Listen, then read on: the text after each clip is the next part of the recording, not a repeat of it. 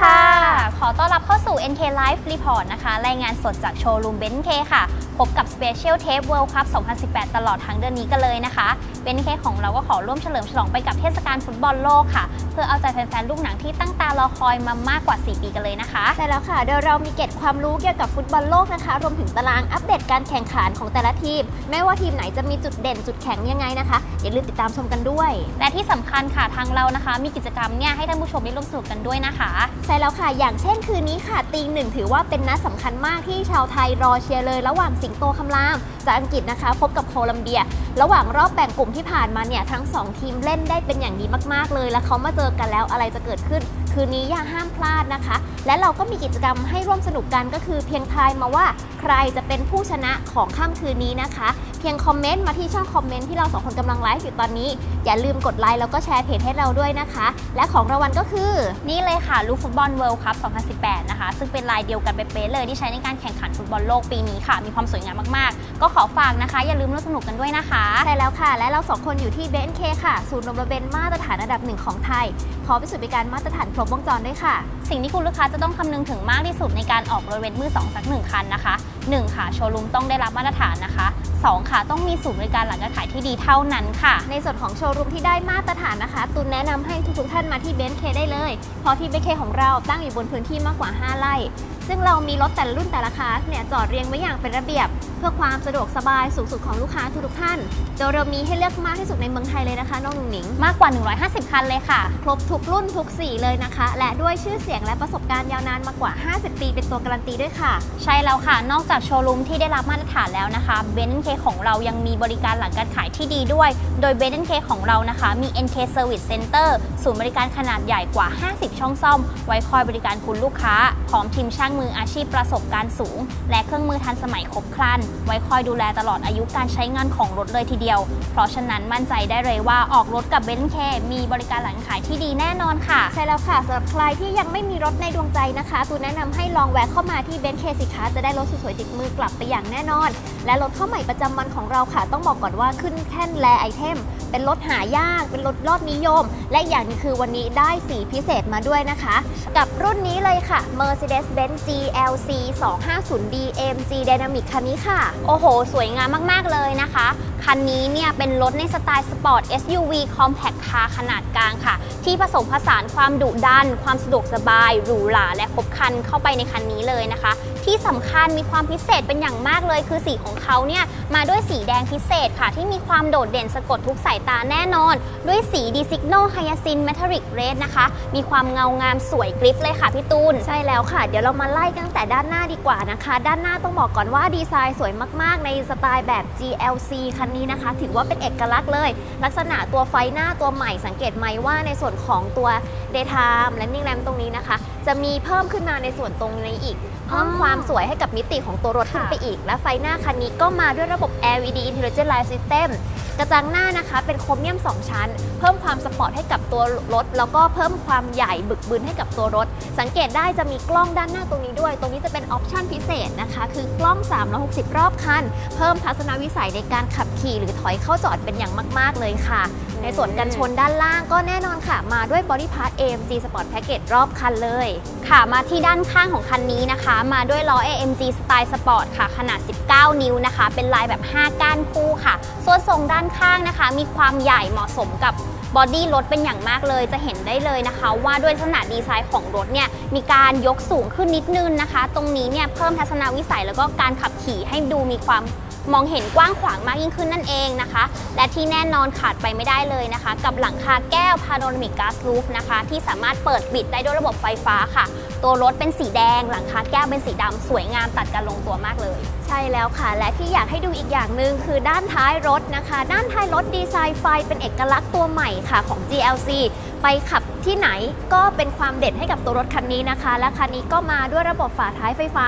สามารถเปิดปิดได้ด้วยระบบออโต้เลยนะคะ และอยากให้ดูอีกหนึ่งอย่าง ในส่วนของพื้นที่เก็บสัมภาระด้านหลังนะคะ มีความกว้างขวางมากเลยทีเดียวนะคะ และยังมีในส่วนของตัวนี้ด้วย ที่จะช่วยปิดนะคะ ป้องกันไม่ให้ผู้โดยสารด้านในนะคะ เห็นสัมภาระถึงความลงด้านหลังด้วยนะคะ เพิ่มความระเบียบเป็นระเบียบให้กับตัวรถเป็นอย่างมากนะคะ และในส่วนของการปรับเบาะตรงนี้นะคะ ไม่ต้องไปโยกตรงเบาะเหมือนเดิมอีกแล้วนะคะ สามารถกดปรับตรงนี้ได้เลย มันจะมีสวิตช์อยู่ซ้ายขวา 2 ที่เลยนะคะเบาะก็จะพับเข้าไปสามารถเก็บของได้กว้างขึ้นกว่าเดิมนะคะ และในส่วนของฝาท้ายด้านหลังนะคะคันนี้เป็นฝาท้ายไฟฟ้า ถ้าตัวฝาท้ายตรงเนี้ยมันสูงเราสามารถหยุดในตำแหน่งที่เราต้องการได้ แล้วก็กดเซตไว้นะคะ โดยการกดแช่ไว้แล้วก็ปิด นะคะ มันก็จะตั้งค่าโดยอัตโนมัติค่ะ ถือได้ว่ามีความสะดวกสบายมากๆเลยนะคะ ที่สำคัญค่ะคันนี้นะคะ เครื่องยนต์ของเขาเนี่ยมาด้วยเครื่องยนต์ดีเซลเทอร์โบค่ะ แถวเรียง 4 สูบ ขนาด 2,200 ซีซีนะคะ กับ 204 แรงม้า แล้วก็มาพร้อมกับระบบเกียร์อัตโนมัติค่ะ 9G-Tronic หรือว่า 9 สปีดนั่นเองนะคะ สามารถทำความเร็วสูงสุดได้ถึง 222 กิโลเมตรต่อชั่วโมงเลยค่ะบอกได้เลยนะคะ ว่าสำหรับช่วงล่างคันนี้เนี่ยก็ต้องบอกว่ามีความคล่องตัวกระชับขับสนุกตามไลฟ์สไตล์ทุกฟังก์ชันการใช้งานแน่นอนค่ะ เดี๋ยวเราขอเข้าไปดูภายในกันบ้างดีกว่านะคะ ว่าเจ้า GLC คันนี้จะสวยขนาดไหน ใช่แล้วค่ะสำหรับภายในคันนี้นะคะ มาแบบเป็น full black ค่ะเบาะหนัง Artico สีดำนะคะพร้อม memory package และ trim ที่เป็นลายไม้สีดำด้านค่ะ เพิ่มความสปอร์ตแล้วก็แฝงไปด้วยความหรูหราอีกด้วยนะคะรวมไปถึงห้องโดยสารเนี่ยมีความกว้างขวางค่ะบวกกับหลังคาแก้วที่ช่วยเสริมเพิ่มความเอกลักษณ์เข้าไปกับคันนี้ด้วยค่ะ ใช่แล้วค่ะ สังเกตจากแผนคอนโซลไม้ตรงนี้มีการจำลองมาจาก C Class เลย เพราะว่าเจ้า GLC เนี่ยก็คืออยู่ใน C Class อืมที่เป็นตระกูล SUV หรือ Compact Car นั่นแหละ ในส่วนของการดีไซน์ห้องผู้โดยสารด้านในก็คือจำลองมาจาก C Class เลย ไม่ว่าจะเป็นในส่วนของคอนโซล ช่องแอร์ พวงมาลัย หรือว่าดีไซน์ในส่วนของหน้าจอ ที่มีการตั้งค่าในส่วนของ vertical setting นะคะ การตั้งค่าตัวรถ หรือในส่วนของ ambient lighting คันนี้ก็มีนะ มีมาให้เลือกถึง 3 เฉดสีด้วยกัน สามารถปรับได้ตามความต้องการของผู้โดยสารเลยค่ะ และคันนี้ก็ยังมาด้วยชุดแต่ง AMG ด้านในก็คือพวงมาลัยมัลติฟัง c t ชันแบบ3ก้านท้ายตัดนะคะ และในส่วนคันเร่งด้วยค่ะที่จะเป็นแป้นหมุดนะคะ เพิ่มความสปอร์ตแล้วก็สวยหรูให้กับตัวรถเป็นอย่างมากเลย และอีกอย่างหนึ่งคันนี้ที่บอกไปแล้วนะคะคันนี้ได้ตัวประกอบนอกด้วยนะ แล้วอีกหนึ่งจุดที่อยากให้สังเกตคือ scuff plate ด้านนี้ค่ะ จะมีไฟเรืองแสงของโลโก้ Mercedes-Benz อยู่ด้วย เป็นเอกลักษณ์ของตัวประกอบนอกเลย โอ้โห สวยงามมาก ๆ เลยนะคะสำหรับคันนี้ ลูกค้านะคะที่กำลังสนใจรถคันนี้อยู่นะคะ หรือว่ารถคันอื่นของเราสามารถสแกน QR code ที่ขึ้นอยู่มุมด้านล่างจอตอนนี้กันได้เลยนะคะเบนซ์เคของเราเนี่ยยินดีต้อนรับลูกค้าทั่วประเทศเลยค่ะ ไม่ว่าจะอยู่จังหวัดไหนก็ตามนะคะใช่แล้วค่ะ เดี๋ยวเรามาสรุปรถเข้าใหม่ประจำวันกันอีกครั้งนะคะ กับ Mercedes-Benz GLC 250 DMG Dynamic คันนี้ค่ะ มาด้วยสีภายนอกเป็นสี D Signal Hyacinth Metallic Red นะคะ ภายในเป็นสี Full Black ค่ะสำหรับตัวรถนะคะ คันนี้เป็นรถปี 2016 ค่ะ เลขไม่เพียง 11,000 โลเท่านั้นนะคะ เบนซ์เคตั้งราคาไว้เพียง 3 ล้าน1 8 0 0 0 0 บาทค่ะ และงบประมาณในการออกรถนะคะ เพียง 6 0 0 0 0 0เท่านั้นก็สามารถเป็นเจ้าของคันนี้ไปได้เลย ที่สำคัญนะคะวารันตีจากศูนย์ Mercedes-Benz Thailand ค่ะ ยังเหลือถึงปี 2019 เลยนะคะ รถคันนี้เป็นรถประกอบนอกทั้งคันด้วยค่ะ ใช่แล้วค่ะ แถมได้สีพิเศษด้วยนะคะสำหรับใครที่รับฟังข้อมูลไม่ทัน สามารถรับชมได้ที่หน้าจอที่กำลังขึ้นอยู่ตอนนี้ หรือสามารถแคปเก็บไว้เป็นข้อมูล หรือส่งให้กับใครที่กำลังหารถสเปคนี้ก็ได้เช่นกันค่ะสำหรับใครที่ต้องการรับชมรถของคันอื่นของเรานะคะ ที่มีมากกว่า 150 คัน สามารถรับชมได้ที่ www.benk.com ค่ะ ใช่แล้วค่ะ เรามีให้เลือกมากกว่า